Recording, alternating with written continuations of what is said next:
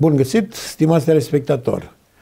Profit de venirea în țară pentru câteva săptămâni a unui invitat din Statele Unite, care este pastor, uh, lector în cadrul Colegiului Eclesia, Colegiului Biblic Eclesia din Statele Unite, o mai veche cunoștință de-a mea uh, și de-a dumneavoastră dacă ați urmărit episodul anterior în care uh, ni s-a împărtășit uh, acest tandem poruncă, promisiune care, de care trebuie să ținem seama.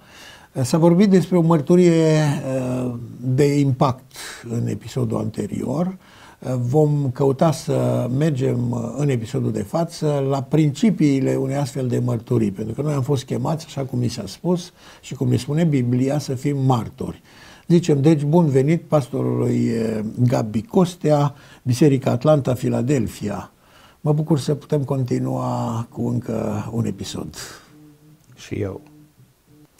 Și deci sunteți un fel de pastor uh, misionar, să spun așa, pastor da. uh, învățător, da. Lucrez uh, în câmpul de misiune mai mult decât uh, acasă, în biserică.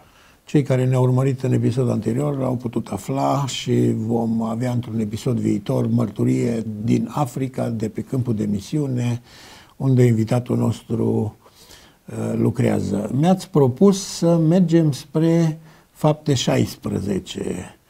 Consider că este locul în care uh, Europa a fost uh, în obiectivul lui Dumnezeu, în sensul că Evanghelia a ajuns în Macedonia, cu, deci în acest pasaj din fapte 16 și ar trebui cu toții să ne bucurăm că Evanghelia a ajuns uh, în Europa. Cum s-au petrecut lucrurile?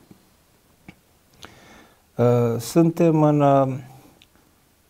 contextul în care Biserica din Antiohia îl trimisese pe uh, Saul și pe Barnaba și ei s-au dus în prima lor uh, misiune în Cipru, apoi în, uh, uh, în Pamfilia și Cilicia. Uh, s-au întors înapoi în Antiohia, uh, s-au dus la Ierusalim pentru a uh, elucida conflictul uh, cu uh, elementele iudaizante din biserică se întorc din uh, Ierusalim cu rezoluția, cu scrisoarea și uh, uh, Pavel, uh, știind că este chemat uh, la misiune, uh, își continuă misiunea. Deci, în acest context, uh, vom vedea câteva pași, câțiva pași, câteva principii pe care Pavel Uh, de data aceasta singur, adică fără Barnaba, le-a aplicat ca să ajungă, să fie călăuzit, să ajungă în, uh, în Macedonia. Uh, dar să începem cu citirea. De acord. Ce să citim? Eu aș propune să citim și 9 și 10, chiar dacă nu neapărat ne vom referi sau vă veți referi da, strict și apoi, din uh, același capitol, ce alte versete mă ofer uh, să citez eu? Da. Uh, de altfel, cred că uh, telespectatorii vor citi tot capitolul 16. Uh, noi vom citi doar uh, de la versetul 25 la versetul 34. Bun. Să urmărim. Deci, vă invităm să aveți și dumneavoastră Bibliile la îndemână, dacă vreți să fiți convinși că ceea ce citim noi este într-adevăr în Biblie. Noaptea, Pavel a avut o vedenie, un om din Macedonia stătea în picioare și i-a făcut următoarea rugăminte, treci în Macedonia și ajută-ne. După vedenia aceasta lui Pavel, am căutat îndată să ne ducem în Macedonia, căci înțelegeam că Domnul ne cheamă să le vestim Evanghelia. Și apoi, după derularea unor evenimente uh, care vor fi doar relatate, nu le mai citim, uh, se arată la versetul 25 că pe la miezul nopții Pavel și Sila se rugau și cântau cântări de laudă lui Dumnezeu în închisoare, da? Iar cei mm. închiși îi ascultau. Deodată s-a făcut un mare cutremur de pământ, așa că s-au clătinat temeliile temniței. Îndată s-au deschis toate ușile și s-au dezlegat legăturile fiecăruia. Temnicerul s-a deșteptat și când a văzut ușile temniței deschise, a scos sabia și era să se omoare, căci credea că cei închiși au fugit, dar Pavel a strigat cu glas tare să nu-ți faci niciun rău, căci toți suntem aici. Atunci temnicerul a cerut o lumină, a sărit în lăuntru și tremurând de frică s-a aruncat la picioarele lui Pavel și ale lui Sila, i-a scos afară și le-a zis, domnilor, ce trebuie să fac ca să fiu mântuit? Pavel și Sila i-au răspuns, crede în Domnul Isus și vei fi mântuit tu și casa ta. Și i-au vestit cuvântul Domnului atât lui cât și tuturor celor din casa lui. Temnicerul i-a luat cu el, chiar în ceasul acela din noapte, le-a spălat rănile și a fost botezat în tată el și toți ai lui. După ce i-a dus în casă, le-a pus masa și s-a bucurat cu toată casa lui că a crezut în Dumnezeu. Zisesem că uh, tema este principii de credință pentru o mărturie de impact și un impact uh, masiv a fost aici în Filipi, uh, dovadă că Evanghelia a ajuns în Europa și a ajuns și la noi. Care să fie aceste principii? Sau dacă vreți să relatați mai mult despre da. eveniment. Da, ceea ce am citit e într-adevăr uh, uh, ca vârful unui iceberg. Uh, noi am citit despre o mărturie de impact. Uh, Pavel și Sila uh, în temnița din Filipii cântă la mesul nopții, uh, Dumnezeu lasă un cutremur. Uh, impactul uh, este de așa natură încât uh, cei închiși, măcar că puteau fugi, n-au fugit, au vrut să audă mai mult despre Dumnezeul acesta care răspunde la cântare prin deslegarea legăturilor și cu tremurul de mesul nopții, vine temnicerul, uh, cum am citit, uh, el știa ce mesaj uh, aveau uh, cei doi, Pavel și Sila, uh, este pătruns de uh, mărturie, este interesat de mântuire și, într-adevăr, avem uh, o mărturie de impact unică în, în Noul Testament, când un oficial uh, îl primește pe Domnul. Uh, dar până aici, până la, acest, până la această mărturie de impact, uh, uh, Pavel uh, face câțiva pași și aplică câteva principii de credință. Am intitulat Principii de credință pentru o mărturie de impact. Și uh, putem uh, citi, uh, începând de la capitolul 15 cu, cu, uh, cu versetul uh, 35-36? Da, da, putem citi uh, contextul ca să vedem uh, care au fost primii pași. De exemplu, din fapte 15, 35, 36. Uh, am intitulat acest principiu principiul inițiativei. Deci un prim principiu de credință pentru mărturie de impact este principiul inițiativei. Uh, Pavel și cu Barnaba se întorseseră de la Ierusalim cu o scrisoare, cu scrisoarea care conținea rezoluția Consiliului de la Ierusalim. Alături de ei au venit doi delegați din partea bisericii din Ierusalim, uh, Sila și cu Iuda, probabil Iuda, fratele Domnului. Iuda s-a întors la Ierusalim, iar Sila a rămas în Antiohia. Și uh, ce am observat, uh, Pavel, uh, Barnaba și mulți alții, și uh, subliniez mulți alții, propovăduiau uh, Evanghelia. Și uh, Saul observă că și înțelege că e timpul să meargă în misiune. Și ia o inițiativă.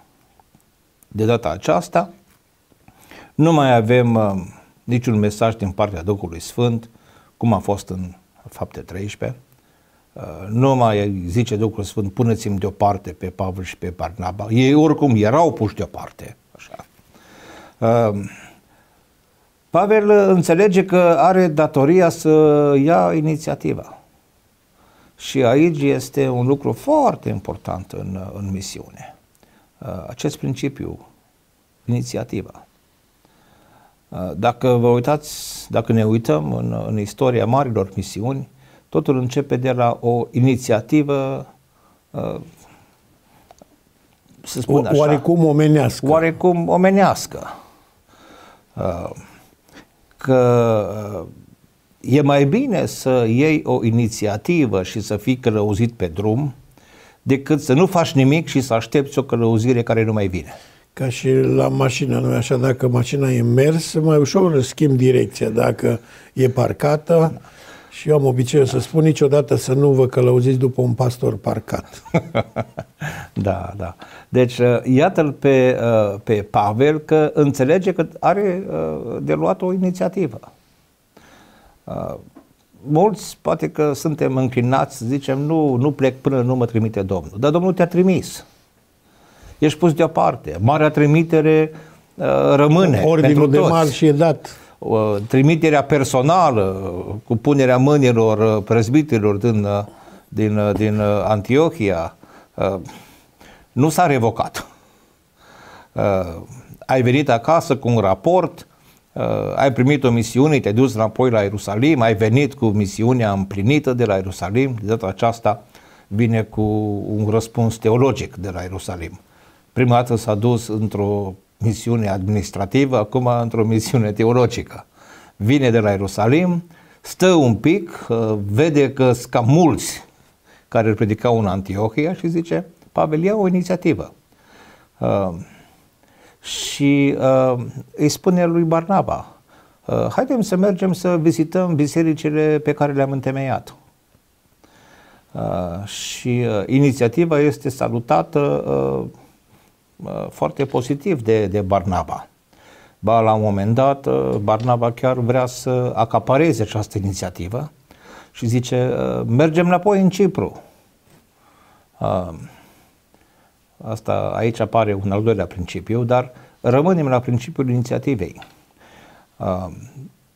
Inițiativă care uneori poate să nu coincidă cu voința expresă și, și să spun așa, uh, imperativ a Duhului, pentru că în fapte 16 scrie la versetul Duhul 6, oprit, fiindcă au fost oprit. opriți de Duhul Sfânt să vestească cuvântul în Asia, au trecut prin ținutul Frigiei și Galatei. Înseamnă că ei merseseră în Asia, uh, oarecum Luaseră o direcție uh, nu chiar cea mai potrivită uh, voinței pentru Duhului. Pentru atunci, da. da. da. Dar au mers, n-au stat Dar au luat inițiativa. Da. Deci, ideea este că, uh, după cum vom vedea uh, în al treilea principiu, uh, călăuzirea vine pe drum. Dar mai întâi inițiativa. Un gest mic. O inițiativă. Trebuie să te pornești pe drum. Un prim pas, chiar dacă nu este, cum să spun, mult, dar este un început. Un al doilea principiu foarte, foarte important uh, îl pot numi aici principiul consecvenței. Consecvență în materie de viziune. Uh, Pavel avea o viziune. Să meargă să vestească Evanghelia înaintea împăraților. Uh, Domnul Iisus Hristos pe drumul Damascului, de fapt, nu chiar pe drumul Damascului. Domnul Iisus Hristos îi spune lui Anania, din Damasc că l-a ales pe Pavel să-i ducă numele înaintea uh, neamurilor, înaintea împăraților și înaintea fiilor lui Israel. Și Apostolul Pavel știe ce misiune are personală de la Hristos, personal de la Hristos și viziunea lui era să ajungă pe direcția vest. Dacă observăm, uh, Pavel vrea să ajungă la Roma, la Roma știm că a ajuns, vroia să ajungă în Spania, nu știm dacă a ajuns, după unele surse ar fi ajuns, alții cred că Pavel ar fi ajuns chiar în Britania. Dar uh, nu știm dacă Pavel a ajuns în Britania, știm că Evanghelia a ajuns în Britania. Dar cât despre Pavel, viziunea lui era să meargă spre vest. Ori uh, Barnaba uh, vroia să se ducă înapoi la rudenile lui din Cipru și vroia să-l ia pe Ioan Marcu cu ei. Uh, Pavel nu a crezut că este bine să ia cu ei în misiune pe unul care i-a abandonat pe drum. După uh, ce s-au întors din Cipru, uh, Ioan Marcu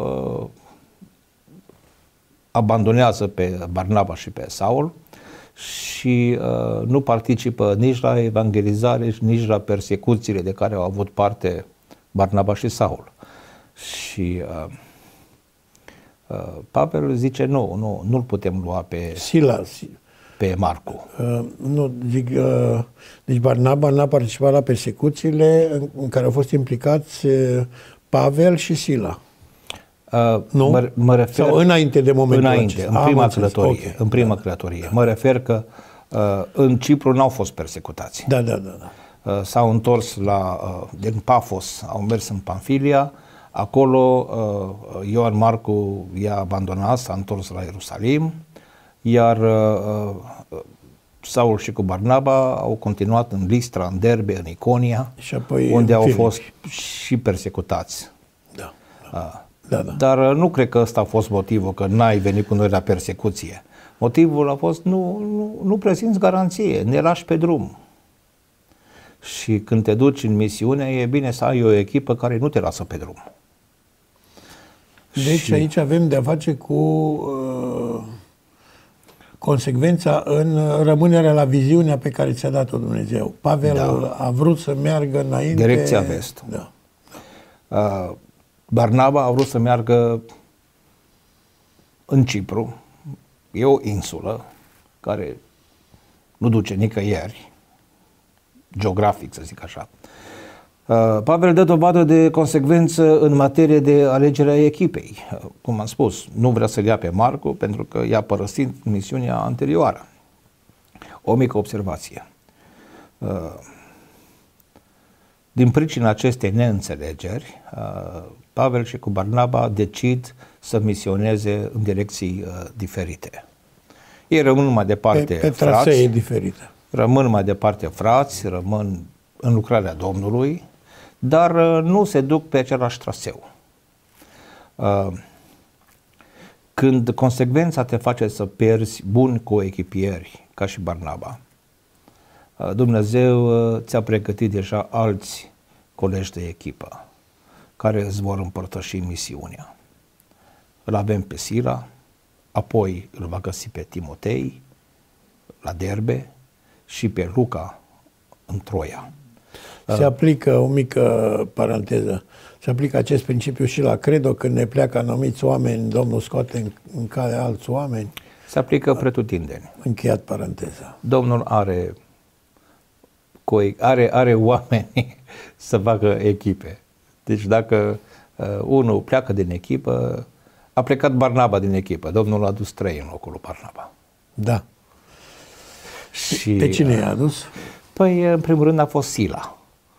Uh, apoi uh, Timotei și Luca. Asta la Derbe și apoi... Luca, pe... la Troia. Da, dar e foarte interesant, dacă citim acolo cu atenție. Uh, Barnaba, bineînțeles că s-a supărat. Și Pavel așteaptă după Barnaba să plece înaintea lui. Pavel nu pleacă supărat. Uh-huh. Barnaba se pare că a fost mai supărat. Și poate că avea motive. Măi, Pavel, dar nu mi-am pus eu obrazul pentru tine, nu te-am introdus eu la frați, nu te-am recomandat eu uh, la Ierusalim, nu te-am dus eu la Antiohia, uh, de la Tars. Uh, chiar așa, acum, uh, dacă tu vrei să mergi într-altă parte, de ce să nu mergem cu Marcu înapoi pe la ai noștri, prin Cipru, că vezi că am fost bine primiți. Uh, Pavel spune, nu, nu, nu, nu, nu, nu, nu, asta e viziunea mea. Și apoi nu e bine să luăm pe Marcu. Chiar dacă mai târziu apostolul Pavel... Îl cheamă pe Marcu, cheamă care trebuință Marcu, de deci el, relația altă... rămâne, da, da. dar da. pentru Uh, e și un pic de pedagogie aici. Uh, misiunea e un lucru foarte serios. Nu plecăm acasă așa cum când avem chef. Cum ofturi de adolescent. Cum, da. Deci e un sacrificiu. Un sacrificiu care uh, uneori e, e suficient de mare ca să nu-l poată face toți. Uh, uh, Pavel așteaptă să plece ma, uh, Barnaba mai întâi. Și Barnaba și cu Ioan se duc în Cipru. Apoi Pavel îl găsește pe Sila, care nu se întorsese la Ierusalim, Și Sila acceptă să meargă cu Pavel.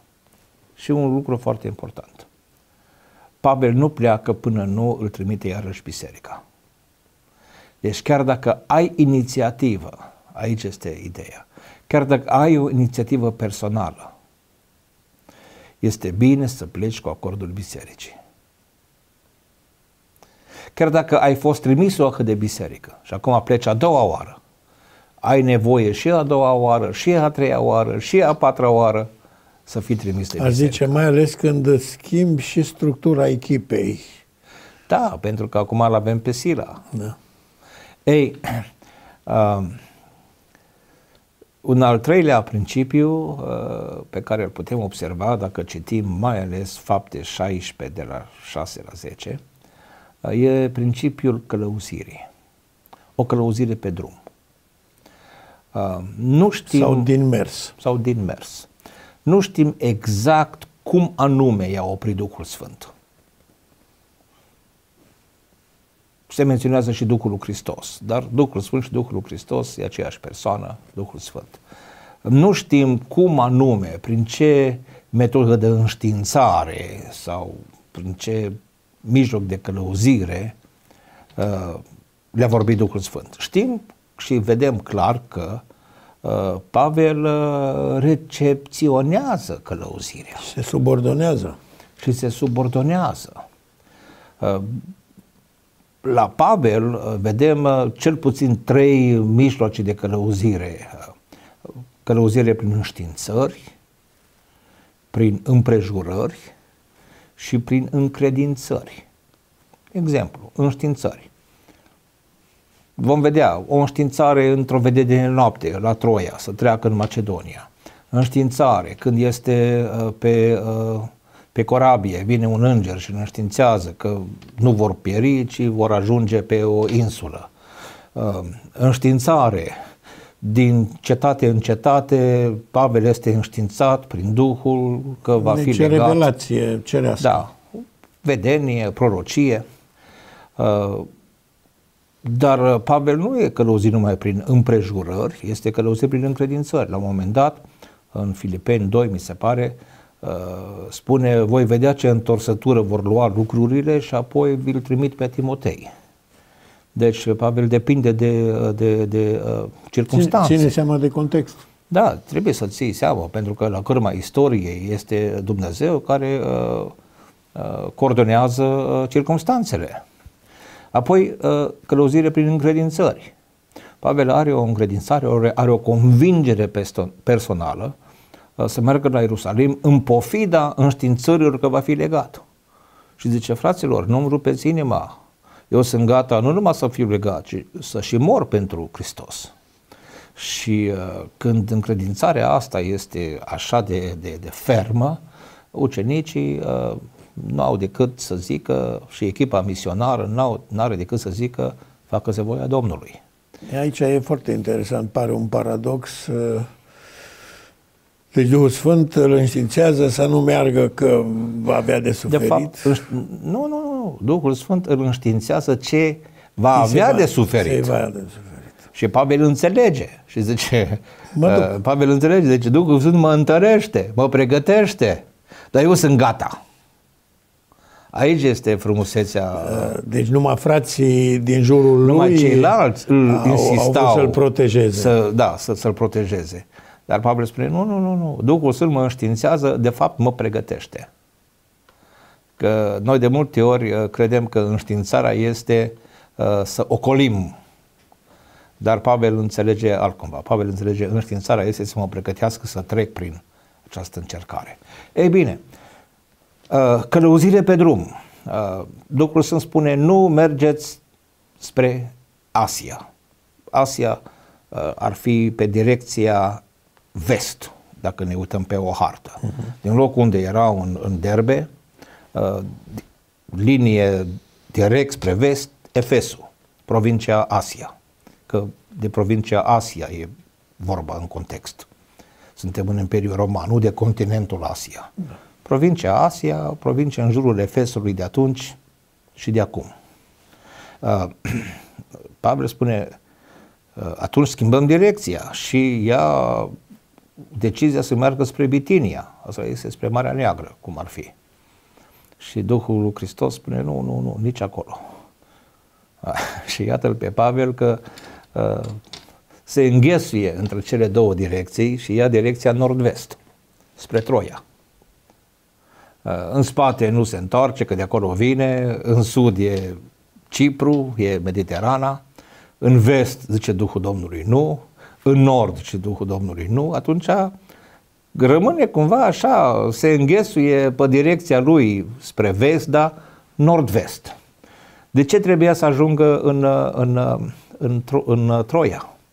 Uh, primul rând, pentru că acolo Domnul le-a mai dat încă o călăuzire, dar putea să-i călăuzească Domnul prin vedenie de noapte și într-alt oraș, nu numai în Troia, dar trebuiau să se întâlnească cu Luca. Și Luca uh, se lipește de echipa misionară uh, de la Troia încolo. Și o să mă întrebați de unde știm. Păi, uh, începând din Troia, avem deja folosirea uh, persoanei unu plural.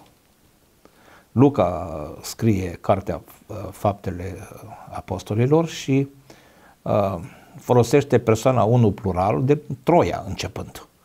Până atunci nu, nu, nu folosește unul plural. Deci uh, Luca se uh, adaugă la echipa misionară a lui Pavel în Troia. Uh, avem această călăuzire pe drum și un lucru foarte, foarte frumos la Pavel, el se consultă cu echipa. Vă rog, observați aici. După ce am pornit din Troia, deci aici este și Luca, am mers cu corabia la Samatracia, dar nu, nu, nu, versul anterior.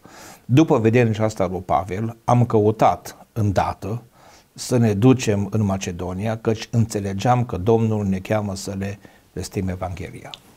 Deci e, e uh, o decizie de echipă.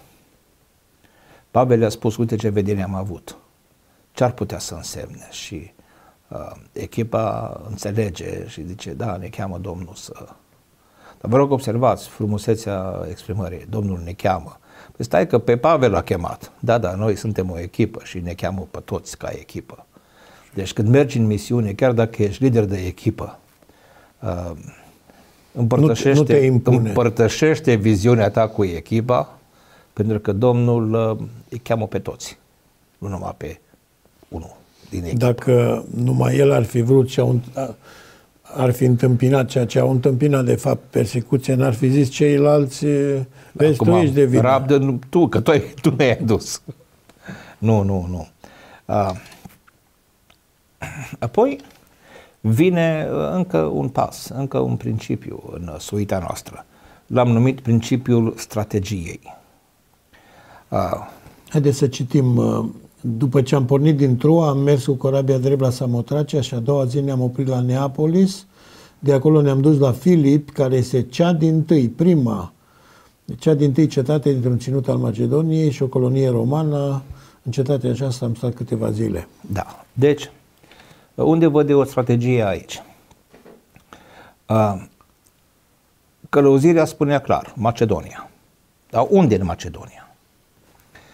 Principiul lui Pavel a fost întotdeauna să căutăm metropola. Care este cea mai mare metropolă din Cea mai influentă. Cea mai influentă metropolă. Și uh, uh, cea mai influentă metropolă în Macedonia era Filipii, o colonie romană. Uh, cea din tâi, nu în sens geografic, cea din tâi în sensul influenței și uh, poziției de metropolă. Și Pavel spune, trebuie să mergem la Filipii. Și observați că nu s-au oprit pe drum să predice uh, Evanghelia, măcar că puteau să o predice din loc în loc. Nu, nu, au trecut, au debarcat în Macedonia, la acel Neapolis, acum mai zice Cabale, Cabalis sau Cabale, am fost acolo și de aia uh, știu că mi s-a spus, de la ghidul mi-a spus așa. Uh, nu s-au oprit, s-au dus drept în Filipii și au făcut o strategie, metropola.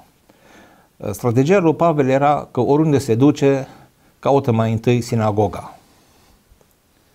În Filipii, aparent, nu avem sinagogă.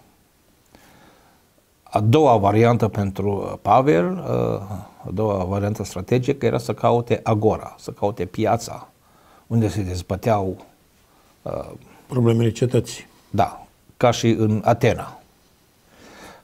Se pare că în această cronie romană nu a găsit nici agora. Era o piață, dar nu era tradiția aceea din Grecia, unde uh, Pavel se putea implica să vină sau cu... nu era atunci. Sau posibil. nu era atunci. Da. Uh, Pavel niciodată nu intră într-un templu păgân.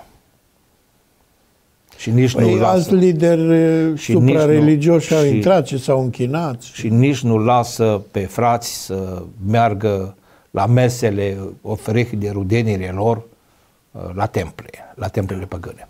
Și atunci, uh, ce strategie uh, i-a mai rămas? Să se intereseze unde se, s-ar putea strânge oameni interesați de cele spirituale, oameni interesați de rugăciune. Înțelege că e un asemenea loc și se duce acolo. Surpriza este, este însă uh, uh, destul de mare. Uh, găsește un grup de femei. Uh, ținem, hai să, hai să ne gândim așa uh, real. Uh, avem uh, un grup misionar din patru bărbați uh, din cultura iudaică că și Luca trebuie să fi fost din cultura iudaică. Uh, nu era un lucru ușor să te apuci să predici Evanghelia la un grup de femei.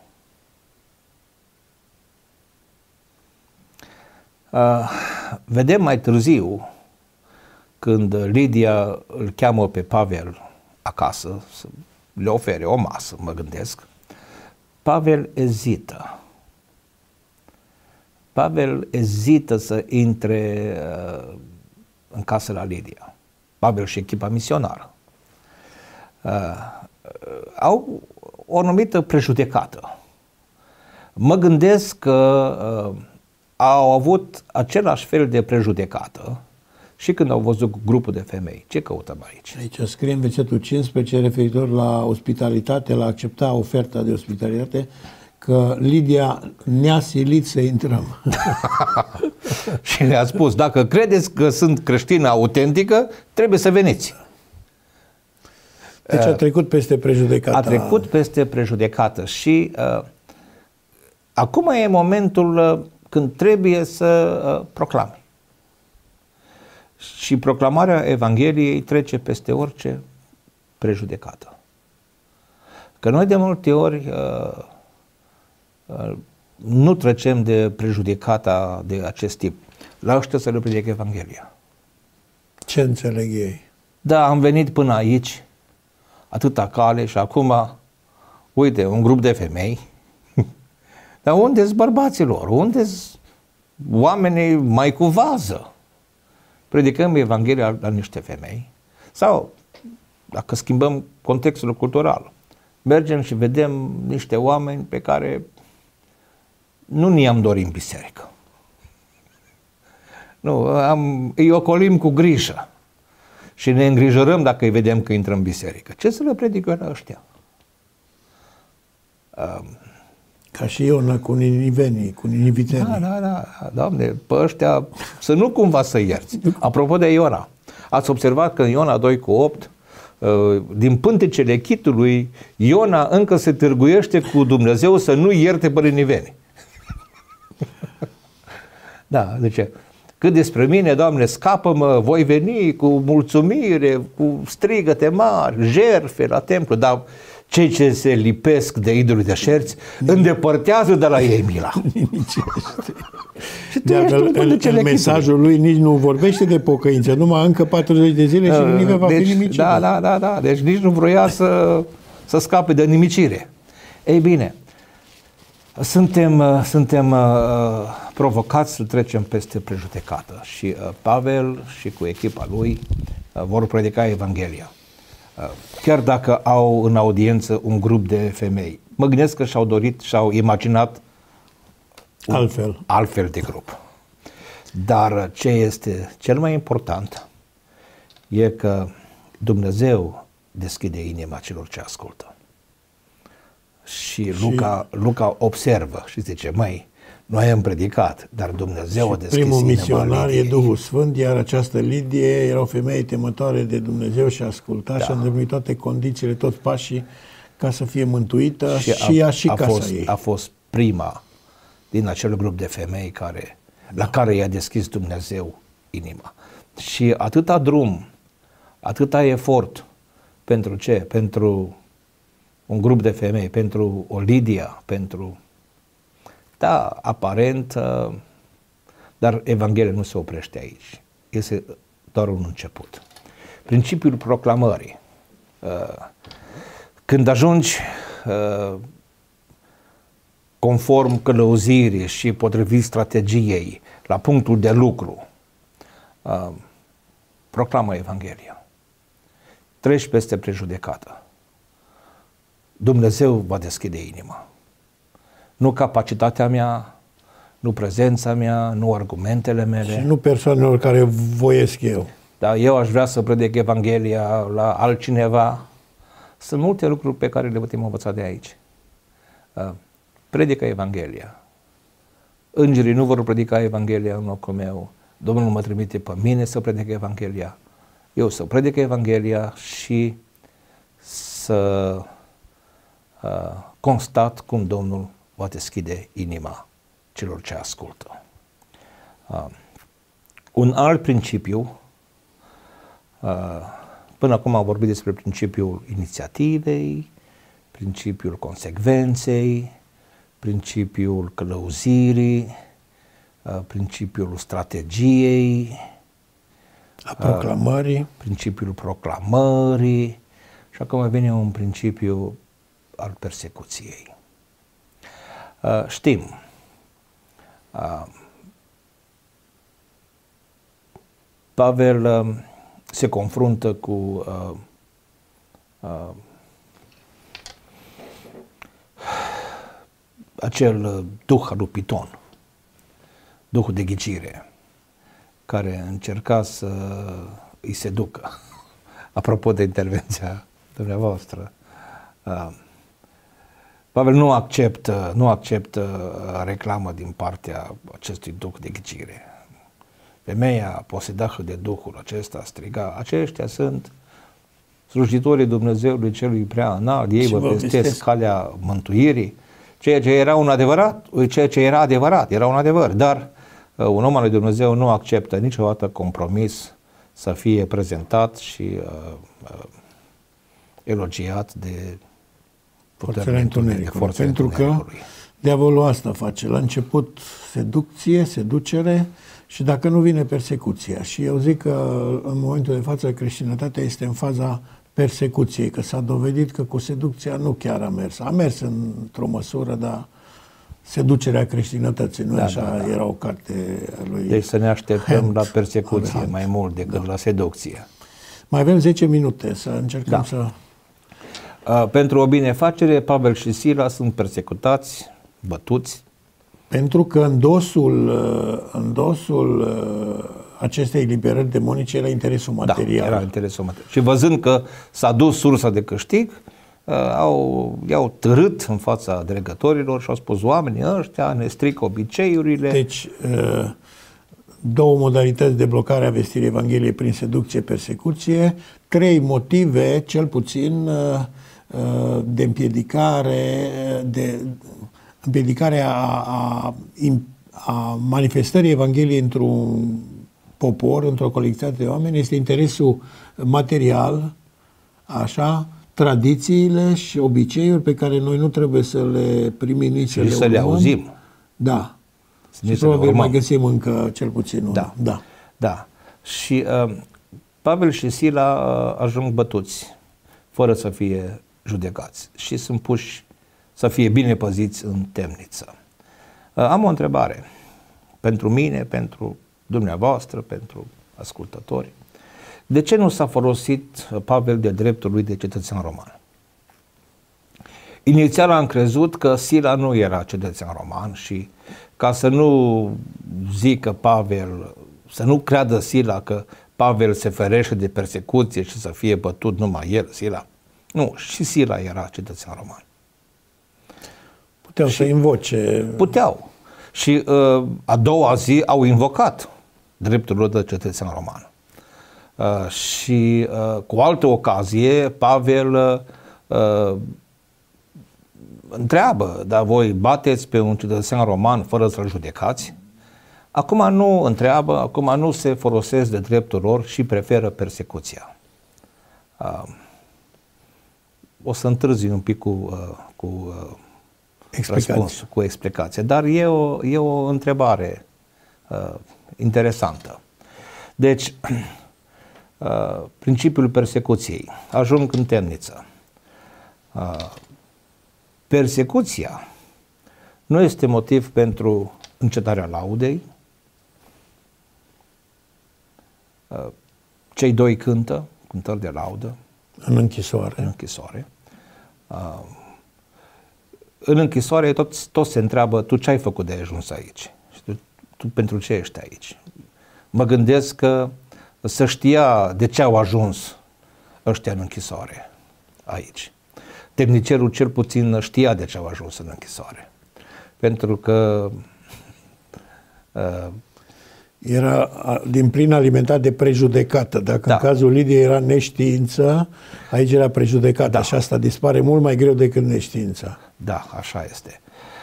Dumnezeu răspunde credinței celor doi prin cu tremurul de pământ. O chestie, cu tremure care să scuture ușorii uși și stâlpii temniței, ușorii uși și stâlpii temniței au mai fost. Dar cu tremur care să deslege legăturile fiecăruia, n-a mai fost. Da. Aici este mai mult decât un cutremur, aici este Natural. o minune. O minune, că toți oamenii ăia uh, s-au văzut uh, liberi, cu ușile deschise, cu, dez, cu legăturile dezlegate. Dar n-au fugit. N-au fugit. Poate că mărturia lui Pavel și a lui Sila i-a impresionat așa de mult încât au vrut să audă mai mult despre Dumnezeul acesta care mântuiește. În 30 de secunde, când am vizitat uh, un penitenciar din Slobozia, un deținut ne-a zis, domnilor, aștept să veniți să vestiți Evanghelia în penitenciar mai mult decât aștept eliberarea. Hmm. Deci există astfel de oameni cu astfel de căutări și de uh, de, de nevoi lăuntrice profunde care depășesc chiar nevoia libertății fizice. Da. Uh, temnicerul crede, este interesat de mântuire, ce trebuie să fac. Uh, îi se spune, crede, crede în, uh, în, uh, în uh, Domnul Isus și vei fi mântuit tu și casa ta. Mântuit tu și casa ta, da. Temnicerul crede, este botezat, s-a bucurat după aceea cu toată uh, casa lui că a crezut. Uh, repet întrebarea, de ce nu s-a folosit uh, Sila și Pavel de dreptul, lui, de dreptul lor de cetățeni romani? Și în loc de răspuns, uh, mai pun încă o întrebare. Dacă s-ar fi folosit de dreptul lor de romani, mai ajungeau în temniță? Probabil că nu. Mai avea mărturia lor același impact? A fost o alegere conștientă. Asta nu înseamnă să căutăm persecuția, dar să înțelegem rolul persecuției. Să înțelegem rolul persecuției, pentru că de multe ori mărturia noastră are impact dacă înțelegem ce rol are și persecuția. Și dacă dovedim că suntem în stare să suferim, zice, vouă vi s-a dat harul nu numai să credeți, ci să și, să și suferiți, suferiți pentru, pentru Hristos. Hristos. Uh, poate că în loc de principiul persecuției este bine să punem principiul suferinței pentru Hristos. E parte integrantă din mărturie. Evanghelia noastră nu e întreagă fără Iar suferință Biblia spune că dacă vrei să trăiești cu evlavie în Hristos, vei fi prigonit, persecutat, vei suferi. Deci asta trebuie să înțelegem. Dacă suntem radical pentru Hristos, nu o să placă celor mai mulți, chiar și fraților în credință, unora dintre ei. Și apoi uh, un ultim principiu l-am numit principiul demnității. Uh, Pavel și Sila acceptă persecuția, dar nu renunță la demnitate. Uh, temnicerul care i-a închis, acum îi duce în casă, le spală rănile, ei acceptă, le dă de mâncare, dimineața vin lictorii să-i zică temnicerului, dă drumul la oamenii ăștia. Și Pavel și spune, nu, nu, nu, nu. Să vină ei să ne scoată. Să vină ei și să ne scoată de aici, oficial. Și uh, oficialii vor veni. Vor veni și vor insista. I-au rugat. I-au rugat să plece. Da. Deci, uh, Concluzia, uh, vorbind despre principiul demnității, este că a, a suferi pentru Hristos este cea mai înaltă demnitate. Și nu ne putem sacrifica uh, Demnitate. demnitatea în suferință. Uh, mărturia noastră are impact dacă știm să ne păstrăm demnitatea chiar în suferință. Asta impresionează. Nu că am trecut prin suferință, dar s-ar putea să ni se ceară să trecem prin suferință, mai mult. Uh, suntem gata să acceptăm cu demnitate suferința? Că dacă evităm, cum și Pavel și Sila puteau să evite, uh, mărturia lor n-ar mai fi avut același impact. Deci, în două, trei minute, un cuvânt final. Da. Uh, în toate aceste principii e nevoie de credință. Credință și acțiune. Credința adevărată e dovedită prin acțiune.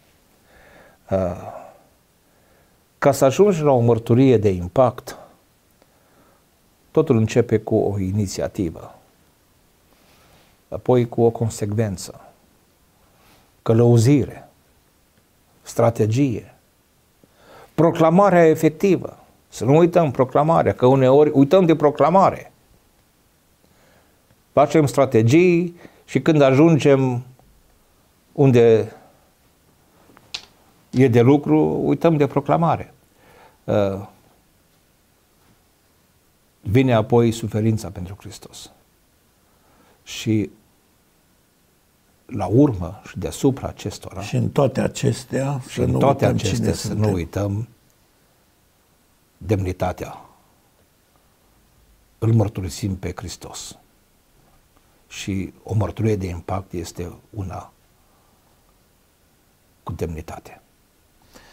Iată, stimați telespectatori, că avem atâtea de învățat din Cuvântul Domnului. Există atâtea straturi de înțelegere a diferitelor pasaje. Mie mi este foarte drag capitolul 16 din Faptele Apostolilor și l-am abordat în multe feluri, dar din nou încă uh, un mod de abordare l-am uh, auzit, descris uh, de invitatul nostru, pastorul Gabi Costea, și sigur că dacă ne aplicăm asupra Cuvântului Dumnezeu, nu un capitol întreg, ci chiar un verset sau poate un cuvânt poate să dobândească noi nuanțe, uh, noi uh, beneficii să ne aducă prin uh, călăuzirea Duhului Sfânt. O frază, o propoziție de încheiere privind spre telespectatori. An de zile am citit și am înțeles mai puțin că o mărturie de impact înseamnă toate, acest, toate acestea, începând de la inițiativă, consecvență, călăuzire, strategie, acțiune, proclamare, suferință și demnitate. Uh, am avut ocazia de-a lungul anilor să traversez, dacă nu toate aceste principii, câteva din aceste principii. Și uh,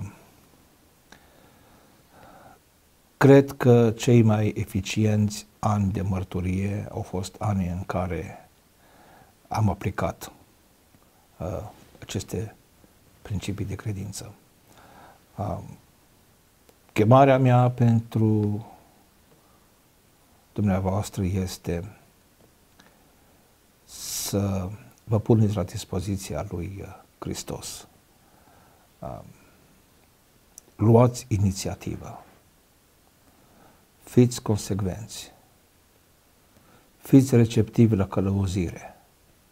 Domnul ne călăuzește de multe ori pe drum. Aveți o strategie bine definită. Proclamați Evanghelia.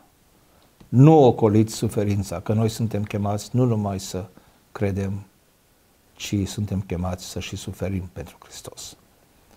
Și nu uitați niciodată să fiți demni de numele pe care îl purtați. Este numele Domnului Isus Hristos în care trebuie să fim mântuiți. Dumnezeu să ne ajute, mulțumim invitatului nostru, vă mulțumim noastră, în cel mai înalt grad, îi mulțumim lui Dumnezeu, care ne dă posibilitatea să nu avem uh, o viață pe acest pământ fără impact, ci din potrivă să fim mântuiți, dar să ducem cu noi spre cer, prin ajutorul Duhului Sfânt, cât mai mulți oameni. Să-L cunoaștem pe Domnul Isus, să ne asemănăm cu El și să-L facem cunoscut și altora. Dumnezeu să ne ajute. Mulțumesc! Amin.